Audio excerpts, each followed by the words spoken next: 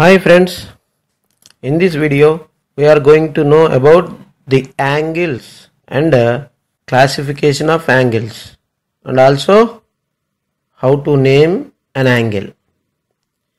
Look here. What is an angle? Do you know that? Look here. A figure formed by two rays that have the same initial point.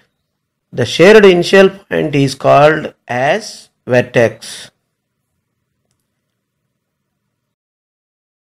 Do you know about degrees?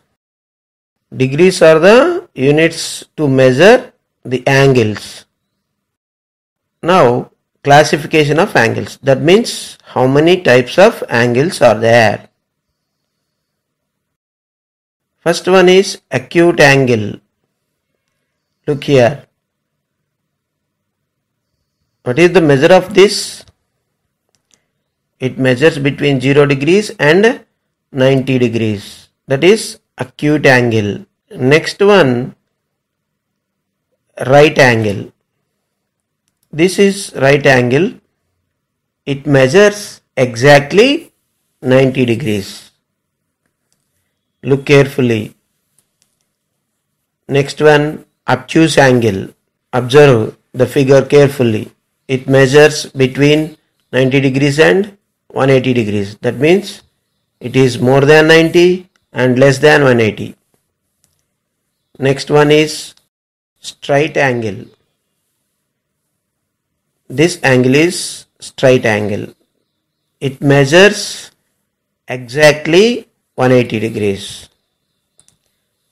Next one reflex angle. Look here, observe carefully. This angle measures between 180 degrees and 360 degrees. That means it is more than 180 and less than 360 degrees. Next, complete angle. Look here. It measures exactly 360 degrees.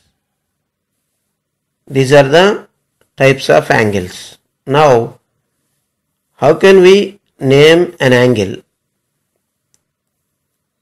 By the vertex, we can read it. Look here, what is the vertex here? A is the vertex. So, we can read it as angle A. This angle is angle A. And uh, by a number, we can read it an angle by a number. Look here, the angle is given by a number that is 1. So, we read it as angle 1.